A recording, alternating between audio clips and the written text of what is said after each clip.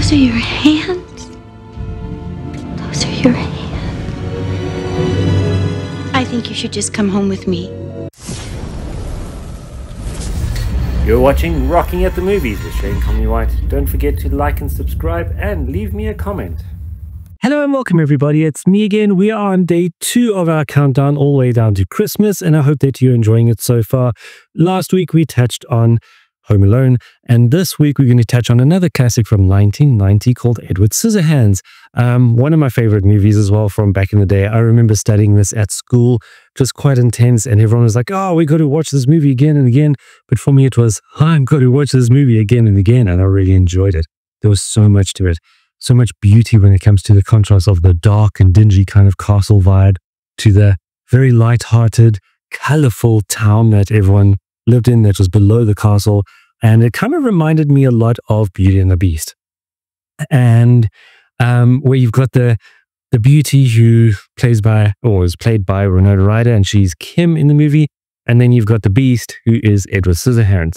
Now, the whole concept of this movie is Edward was a robotic boy that was made by his so-called father, who is the inventor of the village or the town, and he died before he was able to complete him. So that's why he ended up with the scissors uh, as his fingers, which is quite an interesting concept. But he gets found by Kim's mum, who is an Avon lady, and it's quite quite interesting because I don't even know if you have Avon ladies in Hawaii, Avon salespeople, or even Tupperware sales. Um, but they used to go from door to door to try sell their Avon, and they their phrases Avon calling. Um, so she decided, let's go up to the castle. Maybe there's someone there that she's never been able to sell to because she's been selling to all of her friends and family, and it's the same concept, the same sales all the time. Um, she goes up there and she stumbles across these beautiful manicured gardens of um, creatures and animals and anything weird or wonderful that was carved out as if someone has stayed there for hours making these beautiful bushes and plants and stuff. Um, but long story short, go watch this movie before I give away all the spoilers because I can talk about this and all the other movies we're going to be doing. But I'm just going to give you some of the points as well. Um, she stumbles across Edward and she realizes that Edward's got very, very pale, damaged skin because of all the scars he's got. And you learn that the scars come from his fingers. And many, many different things happen where he punctures water beds, which I don't even know if half of you know what a water bed is. But um, I've always wanted one when I was younger. It's like, imagine sleeping on a big pillow of water. Um, I'm digressing. That's what I tend to do. So please try follow with me because this is what I do. I go, I go weird and wonderful directions the whole way through all of my discussions. But Edward goes down to the village with Kim's mom and she kind of welcomes him in and starts encouraging him and putting makeup on him to kind of cover all of those scars. And eventually Kim comes home from a camp or a or a school tour or something else like that. And the whole Beauty and the Beast vibe, that's where it kind of starts. Where the villagers see that this guy's a very weird kind of person, but they like him because he can do all of those plant manicured sculptures, but then he decides to cut a dog's hair. And he's cutting the dog's hair into this strange kind of look and style that a dog should not normally have. So then people start coming through to him and he starts looking after the dogs in the, in the, the town. Until one lady, is always a dodgy lady, like someone who's very seductive and very flirtatious. She asks if Edward can cut her hair, and then it becomes a massive craze again, um, where he cuts all the ladies' hair and starts this this chain of ladies coming through for these fancy, weird, wonderful, very weird, wonderful hairstyles. I'm amazed that we don't see half of those hairstyles running around today. No, it's quite weird. Um, but yeah, so everything's all good until something goes wrong and Edward gets roped in by Kim's boyfriend who wants to rob his his father's house to get certain things from there and he can only do that with Edward's um, scissor fingers because it can unlock locks and a whole range of different things. And that's where the trouble starts. And then Edward starts getting hunted. And because of that, he gets scared and he hurts people. He hurts Kim by mistake. And then he gets hunted by the, the villagers. And the boy who, who hired him or roped him in to actually do the, the crime um, starts hunting him down, chasing him down, and scares him back into the castle. but it's such a beautiful Christmassy kind of movie. Lots of color, snow everywhere, snowfall with sculptures and ice sculptures, and it's just a, a beautiful, beautiful movie. It's very heart heartwarming and touching. Sad at times, I'm not going to lie to you. You're going to even feel like, oh, my I going to shame this poor guy? He has nothing. He's got no one. He then gets a family who then turns on him, and the whole thing kind of just falls apart.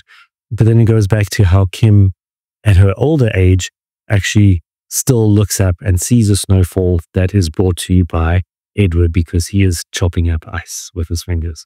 Sorry, I gave it away. I told you there's going to be a lot of spoilers within this whole 24 day um, experience because we have to go through the movies and it's pointless me just saying, oh, it was a nice movie. Yeah, look, very good. I'm going to give you more and I'm going to encourage you to go and watch this movie. And I would like for you to tell me what do you think about the movie? What do you think about the the imagery and what what it does to you? Do you like the movie? Would you watch it again? And if not, let us know what movie you'd prefer as well, because you never know. I might even touch on that and actually see some movies that we can even touch on down the line. Might be part of this Christmas countdown. You never know, this advent calendar, or I'll do it at a later stage. But tell me what you think, and also what do you think of um, Johnny Depp at that time? You know, everyone thought he was weird there, but then he became Pirates of the Caribbean or Jack Sparrow, and he's still weird. So, is that him? Who knows? But um, let me know what you think. Drop us a comment. Please don't forget to hit the the thumbs up button because it allows this video and the channel to spread a lot further so we can get more interaction and we can then start building up our community to start making more movies. Now, going into that, this is my time where I'm going to encourage you to don't forget to hit that um, super thanks button and start being part of HSC Productions and myself in Rocking at the Movies to start bringing you the movies that you would like. Now, we're in the process of making a whole range of different movies. I got 14 scripts that we are going to produce internally, and we need your support. We'd love you to be part of the movie, whether it be a cameo, whether it be executive producer role, whether it be complete funding, or even sponsorship. Um, it could even be uh, products in the movie that we could even start um, showcasing for you if you wish. And we would like your interest and like your input. So come and join our family any kind of uh, super thanks or any donation or anything that is generated from this channel is going straight into the movie itself. We're going to produce it. It's a development kind of structure to help um, struggling actors who have never actually had the experience to be in a movie. We start working them in. We're teaching them how to do the stunts. We're doing all the stunts ourselves. We're getting the the crew to bring their equipment and any little bit of help will start helping them so we can produce stuff for you. And you'll be part of it. You'll be in the credits of the movie. You'll be listed as X, Y, and Z was part of this movie and they brought you the movie itself. So you will have your name on a movie that is going to be sold to whoever would like to buy it. And we're going to be putting it on Netflix. We've got some buyers there that hopefully are going to uh, lap up this movie as soon as it's done and the other movies because we've got some fantastic ones. Um, and You'll also get a credit on IMDb as a contributing donator, a don, donor. Fumbling my words here again. A contributing donor of the movie itself. And the one that the movie I'm talking about is AA, Assassins Anonymous. So I'm going to be launching something very soon um, on here that you're going to be seeing that you could also start becoming a fan of the various different um, assassins in the movie and start doing a little bit of a challenge with the fans, with the, the assassins as well. So you do not worry out on that. It's going to be something quite fantastic that I'm launching very soon.